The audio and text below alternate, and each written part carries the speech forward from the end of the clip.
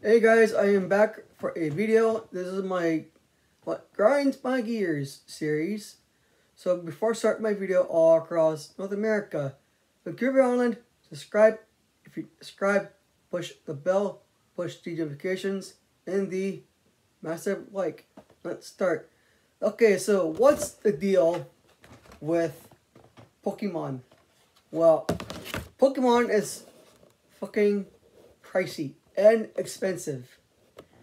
All those box sets are over almost like $100, 60 60 70 uh, 70 dollars for those elite boxes.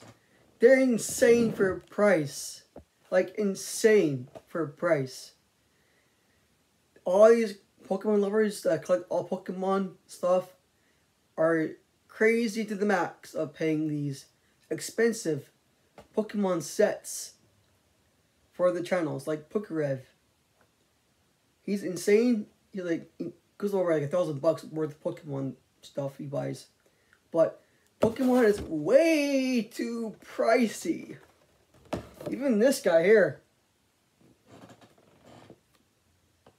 The Gamelan. On oh, the Kandala card are insanely pricey. And that grinds my gears. Just grinds my gears every time.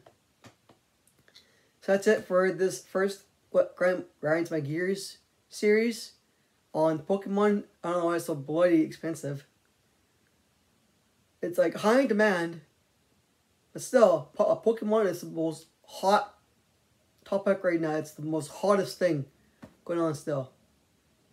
I don't know why. It's kind of grinds my gears on Pokemon. It's been so pricey. So that's it for this video. My final thoughts all across North America.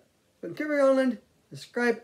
If you subscribe, push the bell, push the notifications, massive like, live long, prosper, and peace out.